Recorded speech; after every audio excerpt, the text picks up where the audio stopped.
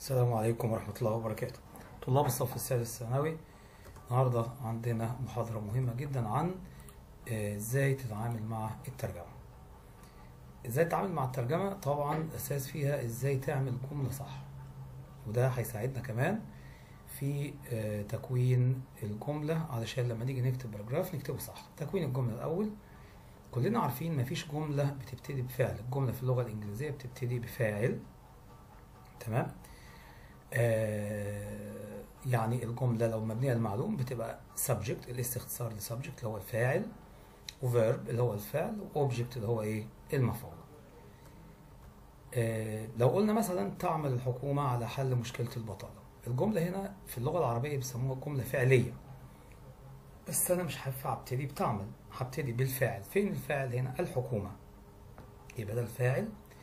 والفعل تعمل. نشوف كده ترجمناها إزاي. The government الفاعل أهو tries ده الفعل اللي هو تعمل على tries to solve تعمل على حل. طبعا آه، كلمة تعمل هنا مش هنترجمها works لأن في ناس بترجمه ترجمة حرفية آه، عقيمة. تعمل على يعني تحاول يعني دايما حاول تقرب الجملة. يعني إيه تعمل الحكومة على؟ تحاول الحكومة أن. يبقى the government tries to solve the problem of unemployment مشكلة البطالة. ولما نوصل عند ال- المضاف والمضاف إليه هنشوف بنترجمه إزاي. آه، لو الجملة مبنية للمجهول هنبتدي بالإيه؟ بالمفعول. وبتبقى واخدة الشكل ده. مفعول object اللي هو المفعول. verb to be طبعا وبيتصرف حسب زمن الجملة. ارجع ليونت 7 و8 مشروح فيه المبني للمجهول. وبعدين التصريف الثالث وبعدين by زائد ال subject أو زائد الفعل. يعني مثلا لو قال لي بني السد العالي للتحكم في فيضان النيل. بني هنا يعتبر إيه؟ آه فعل مبني للمجهول والسد العالي بيسموه نائب فاعل. هنبتدي بيه. نقول the high dam was built طبعا was verb to be التصريف الثالث the high dam was built to control للتحكم لام التعليل بنستخدم to المصدر to control the flood of the Nile.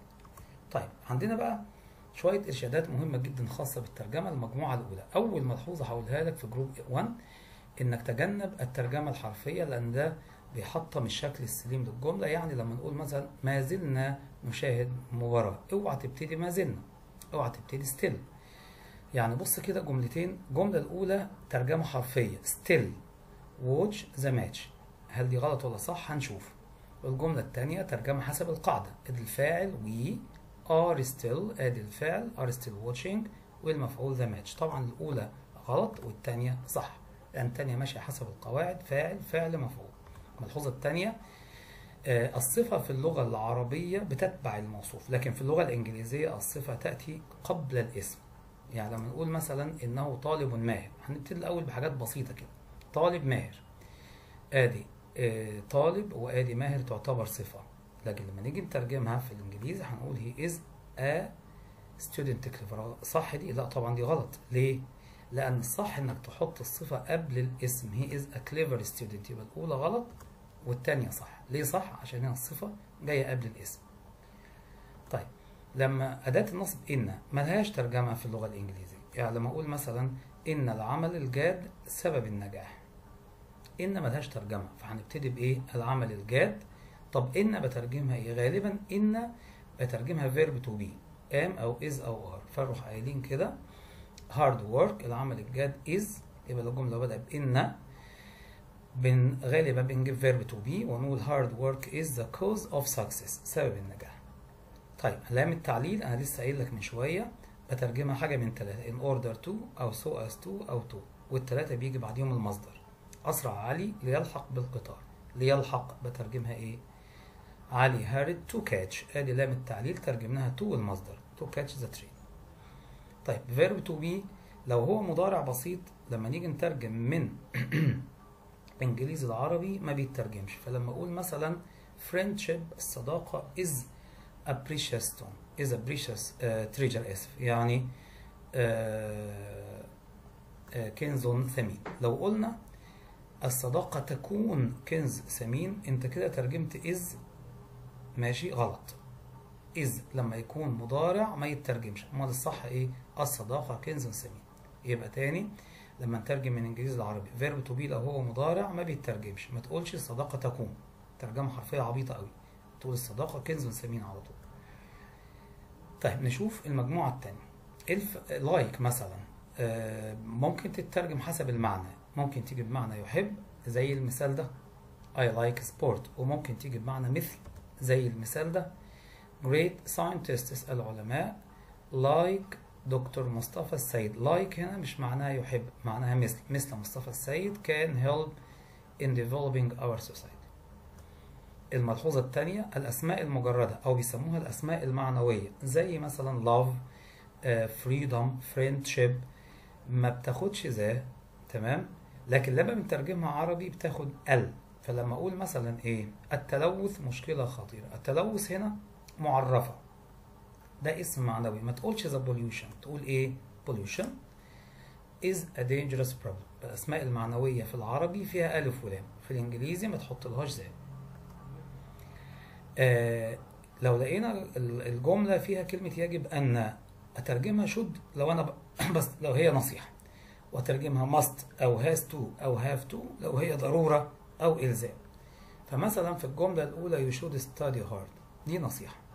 في الجملة الثانية you must lock the door before you leave. ده يعتبر إلزام يعني يجب أن تغلق الباب قبل أن تغادر. أوكي؟ يبقى should ليها ترجم كلمة يجب أن ليها ترجمتين يا إما should لو هي نصيحة أو must أو have to أو has to لو هي إلزام. طيب نشوف المجموعة الثالثة الفعل اللي مضاف له ing اللي بنسميه gerund لما نيجي نترجمه تمام؟ بيكون اسم تبدأ به الجملة. يعني مثلا مشاهدة التلفاز لوقت طويل شيء مضر. مشاهدة. ترجمتها إيه؟ Watching. Watching television for a long time is harmful. أو لو جات لك إنجليزي قال لك watching television هتترجمها إيه؟ مشاهدة التلفاز أو التلفزيون. لو الجملة بادئة بلقد تمام؟ بترجمها إلى زمن المضارع التام. عند ترجمة الجملة في زمن المضارع التام إلى العربية العكس بقى. لو هترجمها لو هي مضارع تام تمام؟ لو أنا هترجمها عربي ابتدي بكلمة لقد وبعدها تحط ماضي. يعني لما يقول لك مثلا لقد تقدمت التكنولوجيا في الأعوام السابقة هتقولها إزاي؟ تكنولوجي has developed. ده اسم المضارع التام. الناس اللي ناسية المضارع التام بيتكون من have أو has زائد التصريف التام. طب لو جات لي بالعكس لو قال لي تكنولوجي has developed in the recent years. حضرتك هتترجمها لقد تقدمت التكنولوجيا في الأعوام الحديثة. آه لما آه and ما تحطهاش يعني يقول عايز أقول مثلا كذا وكذا وكذا ما تحطش and and and. and وجود الكثير من الأسماء المعطوف في اللغة العربية بستخدم حاجة اسمها الكوما أو الفاصله وفي الآخر خالص بحط إيه and. مثلا لو قلنا أحب كرة القدم أدي نمرة واحد. والتنس أدي نمرة اتنين. وكرة السلة والسباحة ما تقولش بقى and and and. هتحط comma comma comma وفي الآخر تحط and تعالوا نترجم دي كده. هقول مثلا I like football comma tennis comma basketball وفي الآخر نروح قايلين إيه؟ and swimming تجنب إنك تستخدم and كل شوية. غلط. تمام؟ تاني لما يكون في أكتر من اسم معطوف حط and في الآخر خالص. أسماء اللغات بتكون معرفة في اللغة العربية. تمام؟ لكن لما بترجمها انجليزي بتبقى نكره يعني من غير ذا بمعنى إيه يا أولاد؟ الفرنسية لغتي المفضلة. ما تقولش the French.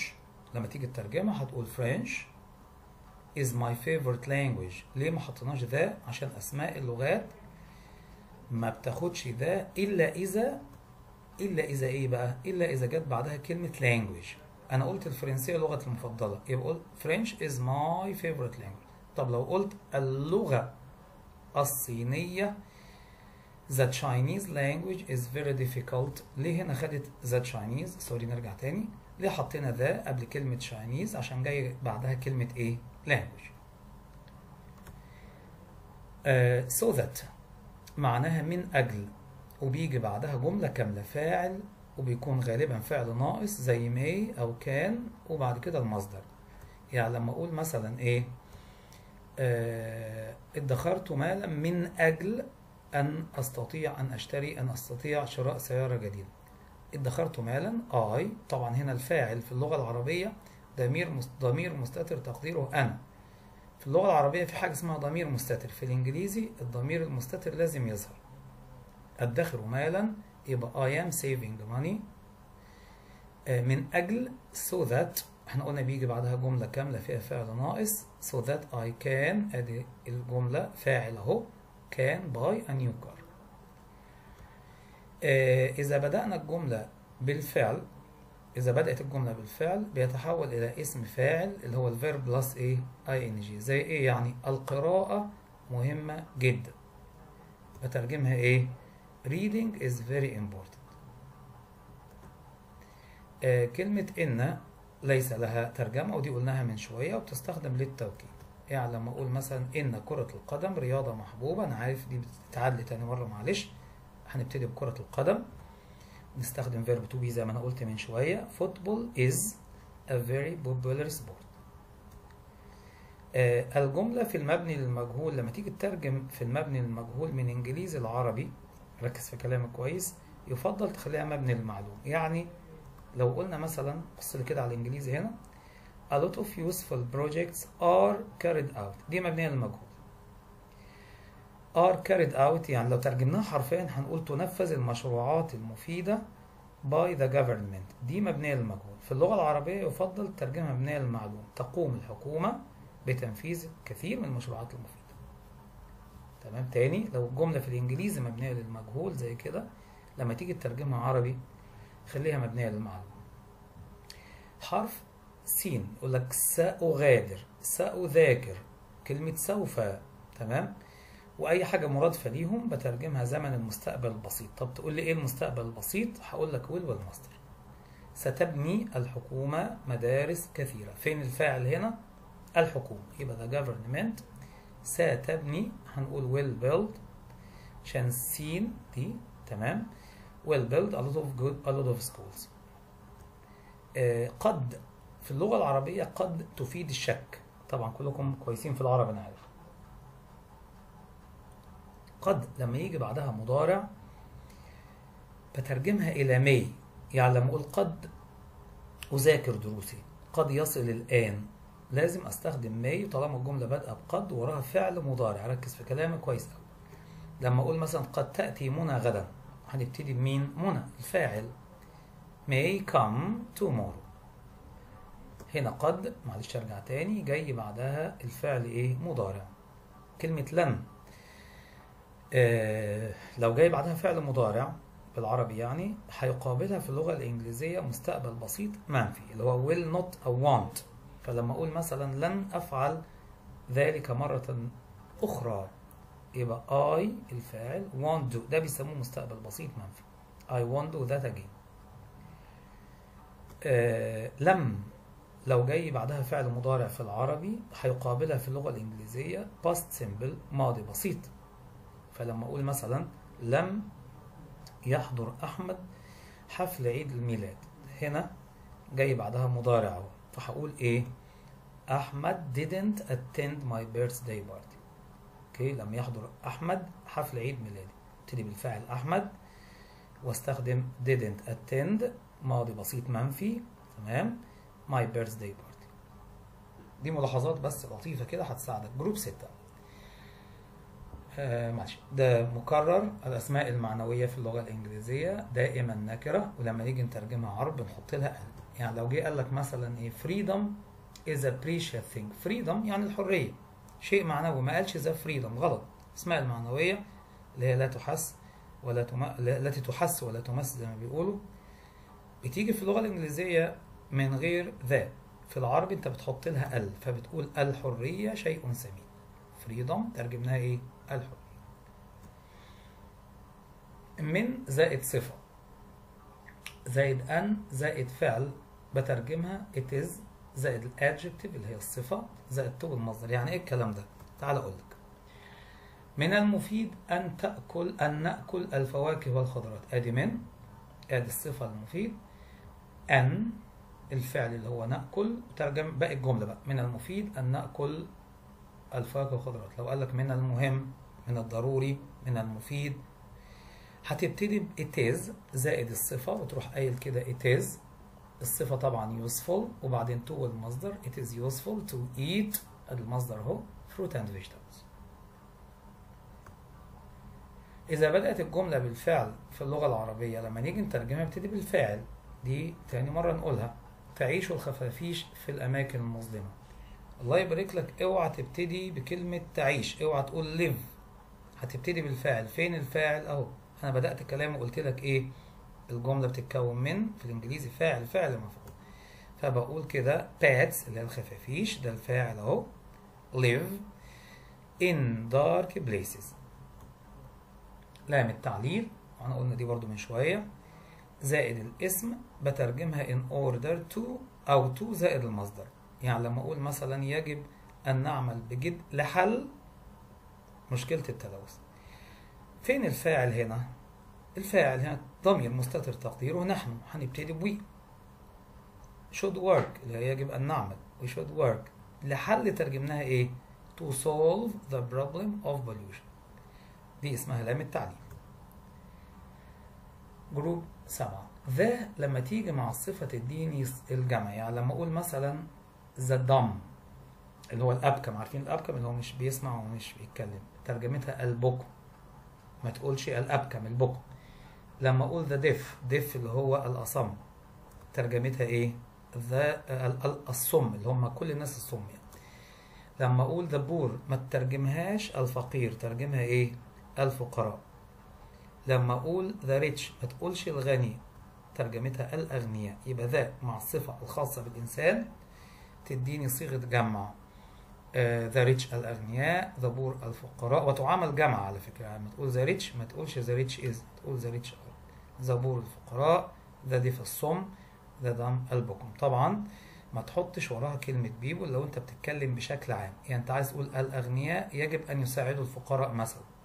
هتقول the rich ما تقولش the rich people the rich help the poor ما تقولش the poor people المضاف والمضاف إليه. يا إما بتستخدم ب... يا إما بيجي المضاف إليه ثم المضاف. يعني مثلا دي معدل المواليد. معدل مضاف والمواليد مضاف إليه. ترجمتها إيه معدل المواليد؟ يا إما تقول birth rate ترجمنا من الشمال ليمين كده على طول birth rate. يا إما تعمل مقص وتحط of فتقول the date of birth في اللغة العربية في حاجة اسمها المفعول المطلق. في الإنجليزي ما عندناش حاجة اسمها مفعول مطلق. أمال بستخدم إيه مكان المفعول المطلق يا مستر؟ بستخدم الحال أو الظرف. طبعا كلنا عارفين الحال أو الظرف بيتكون بإضافة إل واي للصفة. تمام؟ بدلا من المفعول المطلق بستخدم الفعل يليه الحال أو الظرف. فمثلا لو قلنا إيه؟ تطورت تطورت تطورا كثير كبيرا. وهذا مفعول مطلق. ترجمتها إيه؟ developed greatly. developed الفعل وتروح حاطط وراه الظرف اللي هو greatly امال كلمة تطورا ما بيترجمش. developed greatly على طول. طيب يؤثر تأثيرا سلبيا. هنحط الفعل affect badly اللي هو سلبيا affect badly. آه يعاقب عقابا شديدا. ده برضو ظرف. ترجمتها إيه؟ punish شديدا تبقى إيه؟ severely. يبقى المفعول المطلق ما تترجموش. أمال هتترجم إيه؟ هتترجمه ظرف. تجيب ظرف مناسب من الجملة نفسها. تطورت تطورا كبيرا قول developed greatly. يبقى تطورا كأني مش شايفها. يؤثر تاثيرا سلبيا affect badly. تاثيرا كأني مش شايفها. يعاقب عقابا شديدا punish severely. وعقابا كأني مش شايفها. يعني الفعل وراه الظرف على طول. نشوف بقى مجموعة من الأسئلة المهمة جدا. يعني دي حاجات أحداث جارية حصلت خلال السنة دي. فازت مصر لأول مرة بكأس الأمم الأفريقية لكرة القدم تحت 23 سنة. ده حصل السنة دي. هنبتدي بالفاعل اللي هو إيه يا ولاد ايجيبت وبعد كده هنحط الفعل فنروح قايلين ايجيبت won for the first time اللي هي لأول مرة. ده الفاعل وده الفعل. The football African Nations Cup under 23 موضوع تاني حصل السنة دي. تمام. لقد هدد المرض المعدي الغير معروف المسمى كورونا فيروس حياة البشرية. ترجمها نقول آه, آه the outbreak of unknown infectious disease. كل ده يعتبر الفاعل. the outbreak of the unknown infectious disease اللي هو المرض المعدي called المسمى أو المعروف كورونا فيروس أو كوفيد 19 كل ده الفاعل. الفعل has already threatened. استخدمنا مضارع تام ليه يا مستر؟ عشان الجملة بادئه بإيه؟ بلقد. has already threatened human life الحياة البشرية. تنظم وزارة الصحة حملات لمعالجة المواطنين من الأمراض غير السارية. هنبتدي بوزارة الصحة. Uh, The Ministry of Health طبعا تنظم تبقى organizes حملات campaigns uh, لمعالجة. دي بنسميها لام التعليل يبقى to treat citizens المواطنين. طب ليه ما قلناش the citizens أنا بتكلم بشكل عام الجمع الكلمة الجمع لما تكون بتتكلم بشكل عام ما تحطش ذات أنا اتكلمت على المواطنين كلهم. From uh, non communicable diseases اللي هي الأمراض غير السارية. أطلقت وكالة الفضاء وده برضو موضوع مهم. الأمريكية ناسا اسم عالم الفضاء فاروق الباز على كويكب جديد تم اكتشافه حديثا. فين الفاعل؟ وكالة الفضاء. يبقى نقول ناسا طبعا ده ناسا اسم وكالة الفضاء ناسا named a new asteroid. Asteroid اللي هو كويكب a new asteroid recently discovered. اكتشف حديثا. After name after يعني يسمي على اسم. After the space scientist على اسم عالم الفضاء فاروق الباز الترجمات اللي بنقولها في الفيديو مهمة أوي يا جماعة. حصل السنة دي إن مصر أطلقت حاجة اسمها طيبة قمر الصناعة طيبة 1 إطلاق القمر الصناعة طيبة 1 المتخصص في اتصالات على إلى المدار الخاص به. كلمة إطلاق أترجمها إيه؟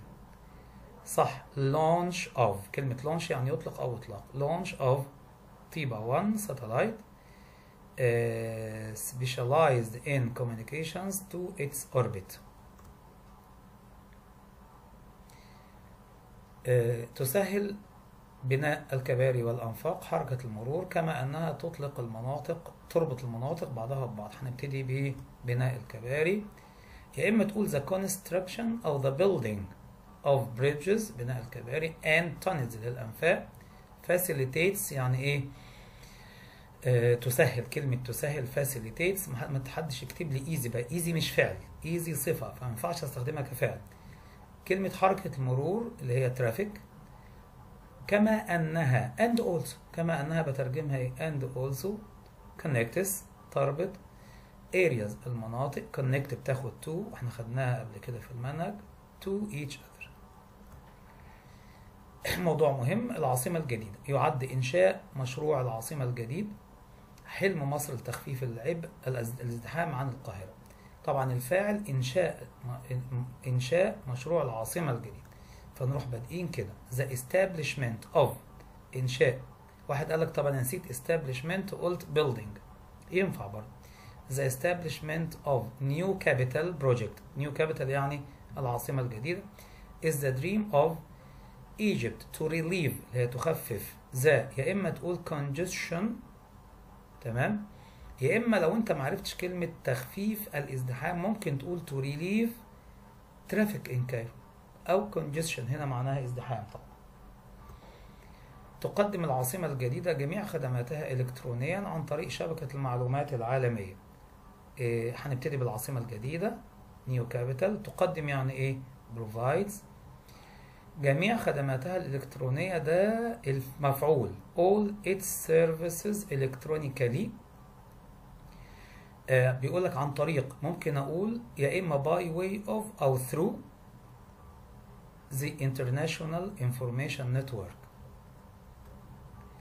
التبرع بالدم من الصور الإيجابية التي تدعمها المسؤوليات الأخلاقية والاجتماعية في المجتمع. طبعا الفاعل بتاع التبرع بالدم اللي هو blood donation. uh, is one اللي هو من الصور الإيجابية is one of the positive images التي تدعمها supported أو واحد قال لك طب ما نقول which which is supported ينفع برضه. By moral لما يكون في كلمة ليها كذا صفة يعني هي كلمة المسؤوليات هنا ليها صفتين الأخلاقية والاجتماعية. الأول حط الصفات وبعدين حط الكلمة يعني moral and social responsibilities. الاتنين دول صفة لكلمة إيه responsibilities. حط الصفات الأول وبعدين الكلمة. In society. تتميز مصر بأنواع مختلفة من السياحة الثقافية أو الصحية أو الدينية أو الترفيهية. قبل ما ترجم زي ما قلنا في and مش هينفع هنا برضو أقول or or or. هحط comma comma comma وأجي في الآخر وأحط إيه؟ or. طب نبتدي الترجمة. Egypt طبعا ده الفاعل. تتميز أترجمها حاجة من ثلاثة characterized صعب عليك. distinguished صعب عليك. طيب ممكن أقول marked. يبقى Egypt is characterized أو distinguished أو marked الثلاثة بمعنى تتميز by different types of اللي هي أنواع مختلفة من بص بقى tourism comma weather آه, cultural تمام آه, comma معلش أنا آسف comma health religious وفي الآخر قلنا إيه religious يعني ديني طبعا or entertainment entertainment يعني إيه ترفيهية. يشكل الإرهاب خطرا خطرا آه كبيرا مفيش عن خطرا كبيرا. عندي دخل غلط في الموضوع. على السلم والأمن الدوليين على حد سواء. هنبتدي بالإرهاب terrorism يشكل يا إما تقول constitutes لو صعبة ممكن نقول forms يشكل كلنا حافظينها. لو صعبة ممكن أقول هذه يبقى أنا عندي بدائل كتير قوي مش لازم أكتب كلمة واحدة. يعني لازم ممكن أجيب كلمة بديلة. يشكل يعني يكون. أو سوري أنا آسف. يشكل بمعنى آه لديه. يعني لو أنا قلت مثلا إيه آه للإرهاب خطر كبير ينفع. فعشان كده عندي ثلاث حاجات لكلمة يشكل ترجمتها. constitutes أو forms أو هذا a major threat اللي هو خطر كبير. مفيش عنها خطر كبير to international peace السلام الدولي and security alike. alike يعني إيه؟ على حد سواء. كل دي ترجمتها إيه؟ alike. للمعلم أهمية بالغة في صناعة التنمية والبشرية التنمية البشرية وصيانة حضارة الأمة للمعلم أترجمها إيه للمعلم دي؟ للمعلم للأب للأم. هنا بترجمها باستخدام verb to have have أو has أو had. فنروح قايلين the teacher has اللي هو حرف اللام ده ترجمناه has. A great importance لأنه كأنه ملكية يعني. أهمية بالغة. In developing humanity آه، تطوير البشرية and keeping the civilization اللي هي الحضارة of nations. طبعا كلمة صيانة يعني إيه؟ keeping. صيانة يعني المحافظة عليه يعني ترجم. ساعات تضطر تعمل إيه؟ تترجم من عربي لعربي الانجليزي وأنا بترجم مثلا وقفت عند كلمة صيانة حضارة الأمم يعني إيه صيانة؟ المحافظة على. يبقى keeping the civilization of nations. للمدرسة دورا هاما في تنمية القيم التعليمية والأخلاقية للطلاب للمدرسة. لم هنا كأنها زي ما قلت لك في اللي فوق كأنها ملكية. فنقول إيه؟ The school has يعني دورا هاما important role. زي ما قلت لك وأنا بشرح في اللغة العربية الصفة تتبع الموصوف. في اللغة الإنجليزية الصفة تسبق الموصوف. أنا قلت هنا دورا هام بس هنا قلت important role. In developing في تنمية.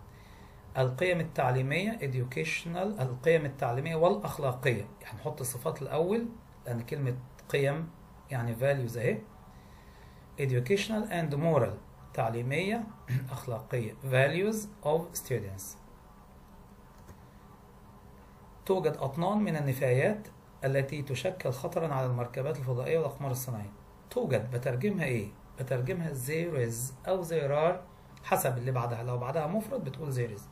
لو جمع يبقى are طبعا كلمة أطنان جمع عشان كده هنقول are tons of rubbish. طب نسيت كلمة rubbish. Waste الاتنين ينفعوا. طبعا كلنا خدنا كلمة waste في في المنهج waste يعني نفايات. التي that أو which تشكل. هقول لك يا إما pose طب مش عارفها ممكن أقول forms وممكن is تشكل هنا بمعنى تكون.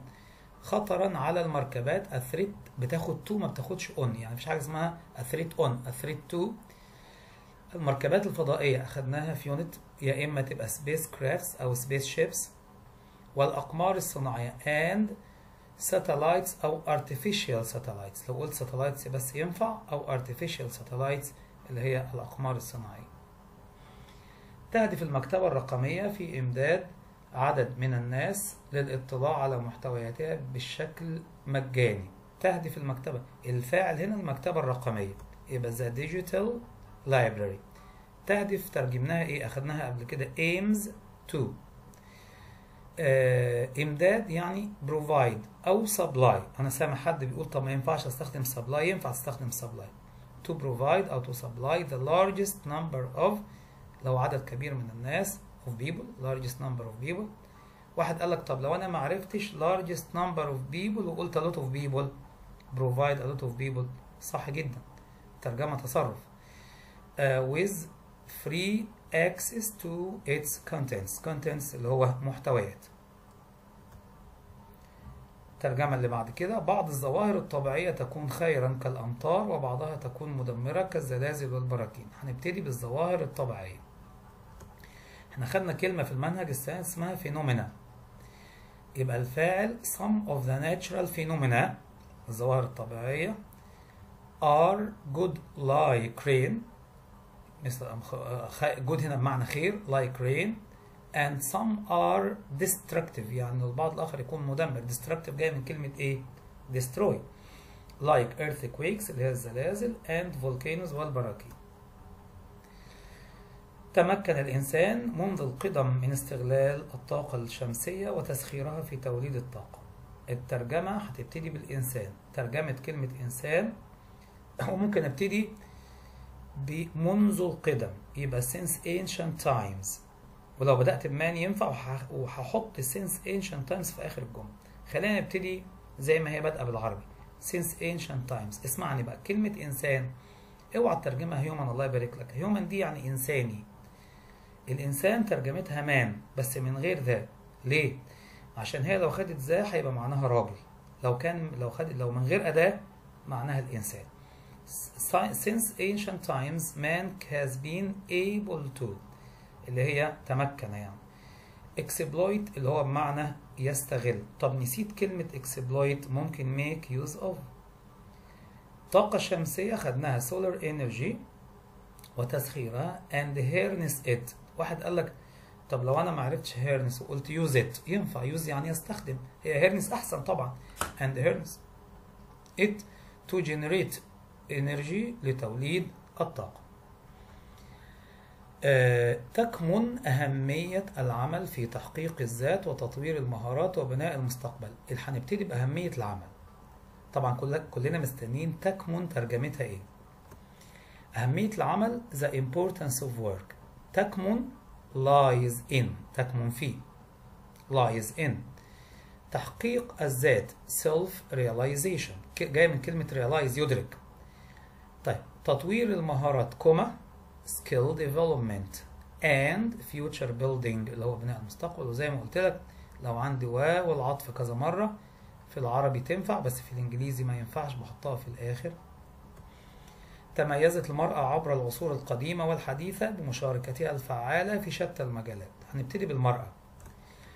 Women اللي هي السيدات. الجمع لما يكون عام ما بياخدش أي أداة. Women have been distinguished. تميزت. كلمة تميزت ترجمتها إيه؟ Distinguished.